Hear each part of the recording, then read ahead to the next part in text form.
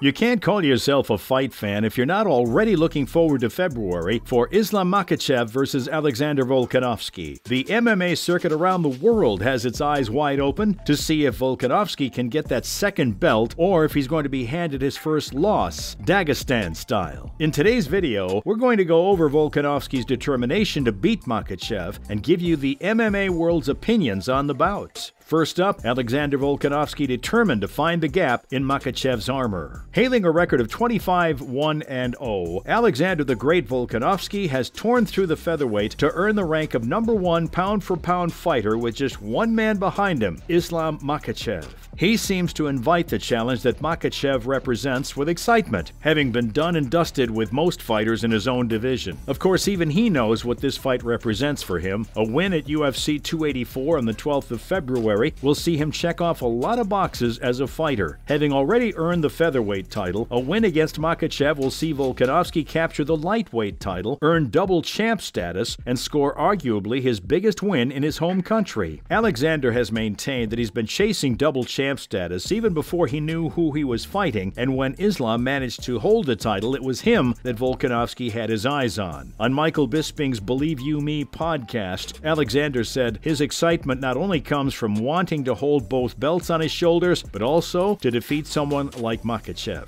It's clear that he's not underestimating his opponent and is excited for the challenge. The reason he gave for the importance of this fight in his heart was the fact that nobody in the league has been able to figure out what to do when faced with Dagestani Sambo wrestlers like Islam and his longtime friend and coach Khabib Nurmagomedov. It's very clear that he wants to be the one to show everyone that Islam is indeed beatable, regardless of how invincible he might seem in his fights. Following that, it's clear that Alexander the Great has embraced the challenge. Having a 12 0 record in the UFC as the number one pound for pound fighter, anyone in Alexander's position would aim to continue the greatness for as long as possible, but not Volkanovski. The fact that people are pinning him as the underdog in this fight is what is exciting him the most, as he told Bisping on his podcast. Volkanovski wants to be the guy that takes out the most feared man in the lightweight division. The doubt is what makes the possibility of the win so much sweeter for him. There's no doubt that he's one of MMA's greatest champions, as he's proven with his wins over the Korean zombie Chan Sung Jung and the definitive closing of his trilogy with former featherweight champ Max Holloway. He told Michael Bisping that he believes that challenges like these make a fighter better, and eight weeks out, he's already twice the fighter he was. Volkanovski has made it clear that he has no intentions of backing out of a challenge just to safeguard his pristine record in the UFC. While he goes up a weight class to face Makhachev, the featherweight division has lined up Yair Rodriguez and Josh Emmett for the interim title. Many are doubting the decision for him to go up a weight class while his division is lining up new contenders for the belt, but he says he's just knocking off his goals one at a time by taking this fight. For people who think that Makhachev is too big and strong for the featherweight champ, Volkanovski is determined to prove you wrong. His goals are clear train for the challenge, show people that regardless of how unstoppable he looks, Islam Makhachev is defeatable, and raise both belts in his home country in the most amazing fashion. Coming up, Volkanovski had to teach Sambo wrestler a lesson in training. The featherweight champion is going into his next fight as the underdog. Many fans think that Islam's size, strength, grappling, and wrestling will prove to be too much for the Australian but he has proved that this is far from the case. To beat someone like Islam Makhachev, it would only make sense for Volkanovski to bring his ground game up to par with a lightweight. To do so, his camp brought in a Sambo wrestler to get him comfortable with the techniques that got Islam where he is. In his interview with Bisping, Alexander recalled the wrestler being over efficient with his suggestions to the team, which did not sit right with him. The featherweight champion said he had to teach him a lesson by dominating him on the mats and showing him that the camp was doing pretty well without him. Apparently, the camp's 21 year old fighters were also called in to grapple with the Sambo wrestler, and it looked like more the same. Through this recollection, we believe that Volkanovski meant to tell Bisping's viewers that he is well on his way to bringing his wrestling up to a point where he can be a problem for his opponent on February the 12th. Moving on, let's look at what the world of MMA thinks about this Clash of the Champions. Starting us off is the lightweight champion himself, Islam Makhachev.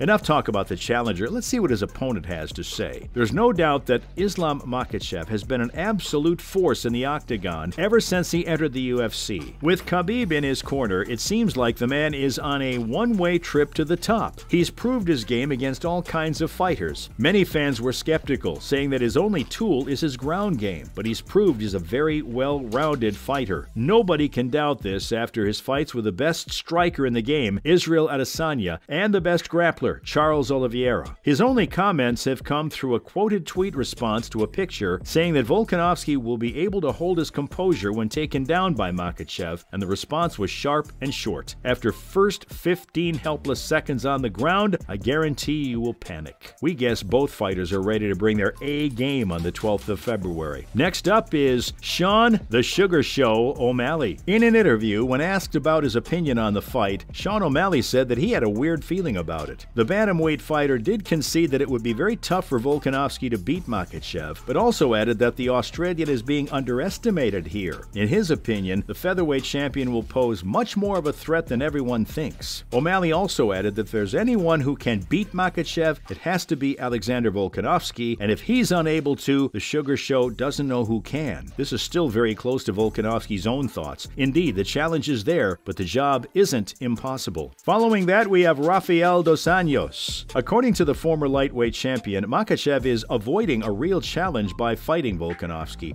Dos Anjos was very clear that he didn't understand why Makhachev chose his first title defense to come against a featherweight champion and maintained that he should be fighting against someone from the division. These comments could be rooted in the fact that Dos Anjos has shown a willingness to fight Makhachev, and the two have seen numerous fight cancellations between 2020 and 2022. RDJ's prediction, nonetheless, is that the Dagestani Sambo wrestler will win that fight by submission. Next up, we have Joe Rogan. As we all know, Volkanovski is moving up a weight class to fight Makhachev, and oftentimes fighters let this affect their agility. Joe Rogan thinks that the Australian's speed can play a huge factor in the result of the fight. According to Rogan, Makhachev is yet to fight someone who is as fast as Volkanovski. In his opinion, if the featherweight champion can catch Makhachev a few times on his feet and avoid some of the takedowns, he has a good chance. Rogan also discussed the fact that with speed comes the ability to defend takedowns, which is obviously a huge advantage while facing a wrestler like Makhachev. The UFC commentator did not forget to mention that even with all of that, there's a huge size difference that will come into play because the Dagestani is no normal 155er. If you're going up against one of the bigger lightweights and you're a short guy, yes, you might be able to put on the muscle to defend the takedowns, but the reach will always remain a disadvantage. Coming in now is Michael Chandler. Michael Chandler weighed in on the discussion about the bout in a recent interview. He said that he was interested in seeing how the fight does, and while being a fan of Volkanovski, there's no doubt that he will come into that fight significantly smaller than his opponent. Getting into the specifics, he said that the Australian native has the advantage when it comes to striking, power, and speed. With that being said, his chances can only be called good if Makhachev doesn't try to go for the takedown in the first round. Volkanovski will only be in a bad place if the wrestler just decides he wants to take the match to the ground and keep it there. Chandler added that Alex has what it takes to squeak out a decision, but not a finish. Lastly, we have Michael Bisping. We'd say Michael the Count Bisping had the most interesting take on the two fighters squaring off. In his opinion, Volkanovski's size will actually play in his favor as he believes that it makes him a much harder target to take down. Bisping added that for Makhachev, he's taking on a guy who is significantly shorter than he is. Volkanovski has a lower center of gravity, which makes him harder to take down and get a hold of. This fight will see Makhachev needing to make level changes a lot more often than he's used to, and so it'll be harder for him to get in deep and secure a body lock. That's a wrap for this video. Do you think Volkanovski has a chance at becoming the champ champ? Let us know in the comments below. Make sure to give this video a thumbs up and subscribe to our channel for more videos like this. See you in the next one.